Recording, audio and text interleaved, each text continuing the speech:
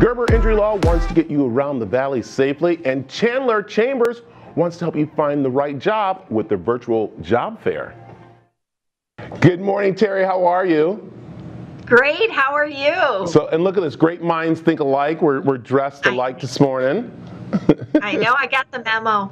So, all right. Well, there's a memo going around that there's a job fair going on in Chandler. There is. We're actually doing a series of virtual job fairs here. We know that due to everything that has happened in our communities that people are out looking for jobs and they need jobs. And so this is our way of bringing our businesses as well as those people who are searching for jobs together. So Yeah. What makes your job fair a little different than others? Well, it's virtual. It's done virtually where you will get to see the um, actual um, companies. You'll get to hear a little bit about them and kind of research them. And then when you come online, you'll actually be able to get to talk to some of them. And some of the applicants, they'll be able to share why they should um, hire them. Um, it's kind of a mini um, um, exchange there so that hopefully then they at least get their foot in the door, then to follow up on better conversations between the applicant and for the business. Yeah, and I know a lot of people are going to be worried because you can only take so many, uh, of course, interviews within the day. So you guys have this going on for how long now?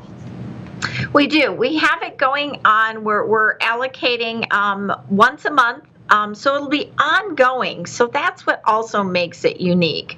Um, it'll be a virtual monthly call, um, not just a few days. You know, we want these employers, it's going to take them a while, and it's not just going to be a, oh, we've, we've got this many applicants, let's hire this many. We want them to hire the right people. Um, the job updates also are going to be updated in real time on the website, which we're, we're very excited about. And then the companies can actually present directly to those job seekers why, why they are a great company for them to come and work for. Um, and then they can also chat with the individual companies in the chat box. And then the individual job seekers can actually reach back out to them more directly. So it's definitely a different twist that we have. Yeah, and this is very important because I know uh, some of the headlines read that, oh, businesses are closed, no one's hiring, but it's the opposite there in Chandler, and not just in Chandler, but across Arizona. And that's what you guys want to get out to people that, yes, there's hiring going on, all because you can't come and do an interview. This is the way to do it, right? If you are willing and able to work and you want a job, there are jobs out there right now, and we're seeing that. So, okay, now how do I get involved if I'm a business and want to uh, pretty much find out the uh, employees that are out there that I can hire?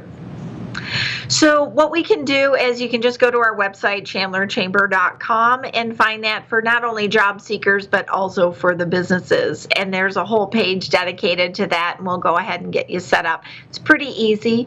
Not only that, um, the nice thing is this is going to be going on each month because it we, it's going to take us a while to get out of this this speed bump, so to say. Yeah. And so, with that being said, we want to make sure that we continue. Not only that, we do have new companies that are looking to come here to Arizona, and we have, in fact, um, just before all of this broke out back in March, we, you know, we had another company announce 400 more jobs coming here to Chandler.